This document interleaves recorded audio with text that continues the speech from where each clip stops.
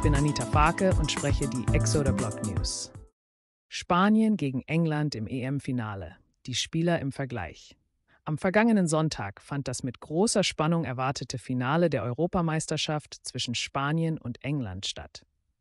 Beide Teams haben im Turnier starke Leistungen gezeigt und sich ihren Platz im Finale redlich verdient. Dieser Bericht bietet einen umfassenden Überblick über die Spieler beider Teams und ihre bisherigen Leistungen im Turnier.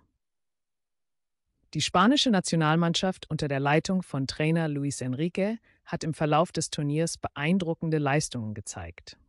Besonders herausragend war der 18-jährige Pedri. Der Mittelfeldspieler vom FC Barcelona wird oft mit großen Namen wie Andres Iniesta verglichen und hat mit seiner Spielübersicht und Passgenauigkeit das Spiel der Spanier maßgeblich geprägt. Sein Teamkollege Stürmer Ferran Torres von Manchester City konnte ebenfalls wichtige Tore für Spanien erzielen und gilt als einer der besten jungen Angreifer Europas. Ein weiterer wichtiger Spieler im spanischen Kader ist der erfahrene Sergio Busquets. Der Kapitän der Mannschaft hat die Defensive Spaniens organisiert und auch im Mittelfeld eine Schlüsselrolle gespielt. Seine Erfahrung und sein Spieltempo waren entscheidend für den Erfolg seines Teams. Auf der anderen Seite stand die englische Nationalmannschaft, die von Gareth Southgate trainiert wurde. Auch die Engländer konnten während des Turniers mit starken Leistungen überzeugen. Ein herausragender Spieler war hierbei Harry Kane. Der Kapitän und Stürmer von Tottenham Hotspur, bekannt für seine Torjägerqualitäten, hat durch wichtige Tore maßgeblich dazu beigetragen, dass England das Finale erreicht hat. Ein weiterer Star im englischen Team ist der junge Mittelfeldspieler Jude Bellingham von Borussia Dortmund. Trotz seines jungen Alters hat er im gesamten Turnierverlauf konstant hervorragende Leistungen gezeigt.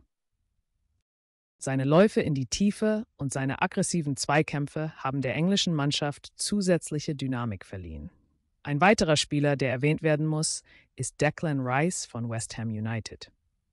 Der defensive Mittelfeldspieler hat durch seine defensiven Fähigkeiten die gegnerischen Angriffe oft schon im Keim erstickt und seine Mannschaft vor gefährlichen Situationen bewahrt.